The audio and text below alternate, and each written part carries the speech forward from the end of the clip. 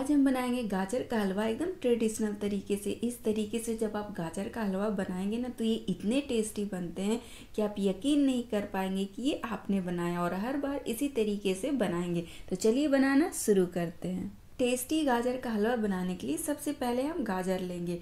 तो जो ये लाल वाले गाजर होते हैं ना, ये वाला हो सके तो आप ले। इससे हलवा है वो ज़्यादा टेस्टी बनते हैं।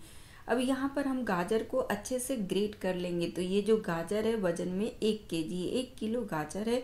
तो ये देखिए मैंने सारा गाजर ग्रेट कर लिया अब हम एक कढ़ाई में यहाँ पर पाँच टेबल स्पून घी डालेंगे। घी में बनाएँगे ना तो ये बहुत ही टेस्टी बनते हैं। अब यहाँ पर घी डालने के बाद, अब हम क्या करेंगे कि ये जो गाजर हमने ग्रेट किया हुआ है ना, सारा गाजर यहाँ पर डाल देंगे। अब हम गाजर को यहाँ पर घी में अच्छे से चलाते हुए मिक्स कर लेंगे और इसे 10 से 12 मिनट हमें गाजर को भूनना है।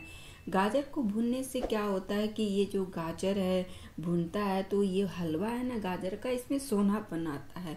और गाजर देखिए जैसे जैसे भूनते जाएगा, ये सॉफ्ट होकर इनकी क्वांटिटी कम होते जाएगी। गाजर को भूनते हुए यहाँ पर 10 से 12 मिनट हो चुका है। तो अब हम गाजर में क्या करेंगे, यहाँ पर एक लीटर दूध डाल देंगे। तो दूध आप उबला या कच्चा कोई सा भी ले सकते हैं। मैं यहाँ पर फुल क्रीम दूध डाल रही हूँ, एक लीटर। अब हम गाजर को इस दूध के साथ अच्छे से मिला लेंगे। जब आप फुल क्रीम दूध इसमें डालेंगे ना तो ये जो गाजर का हलवा है, बहुत ही ज़्यादा टेस्टी बनता है। अब हम गाजर को ढक कर दूध के साथ 15 से 20 मिनट के लिए पकाएँगे। बीच में आप एक दो बार इसे चला ले गाजर को। तो यहाँ से देखिए 15 मिनट हो चुका है, अब हम इसे ढक कर हटा कर चेक कर लेते हैं। तो यहाँ पर देखिए, गाजर है, वो भी सॉफ्ट हो चुका है और दूध भी लगभग आधा सूख चुका है। तो अब हम क्या करेंगे? यहाँ पर मैं एक कप अब चीनी डाल रही हूँ।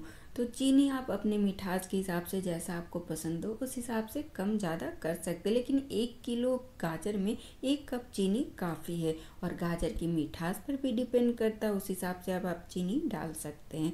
और चीनी को यहाँ पिघलने के बाद अब हम क्या करेंगे, इसमें मावा डाल देंगे। तो ये अढ़ाई सौ ग्राम मावा है, घर पे बनाया हुआ। तो मावा मैंने यहाँ पे सख्त नहीं बनाया, थोड़ा इसे लूज ही रखा है, लिक्विड टाइप का। इससे क्या होता है ना कि ये आसानी से गाजर के हलवे में मिल जाता है, बहुत ही अच्छे तरीके से। अब इसमें हम कुछ ड्राई फ्रूट्स डाल देंगे तो मैं यहाँ पर काजू, बादाम और किशमिश डाल रही हूँ।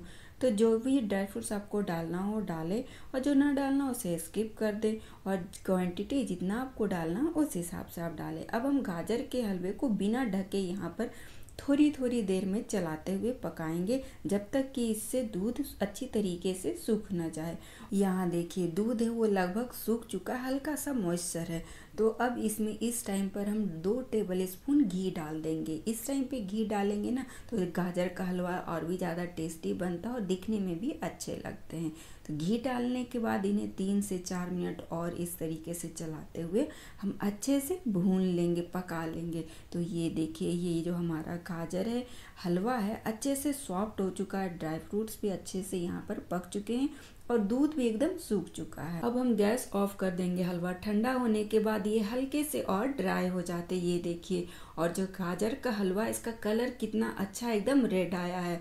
तो ये हमारा टेस्टी गाजर का हलवा बनकर रेडी एकदम ट्रेडिशनल तरीके से। तो फिर देर किस बात की, आप भी बनाएँ, खाएँ एंजॉय करें। मिलते हैं नेक्स्ट रेसिपी के साथ।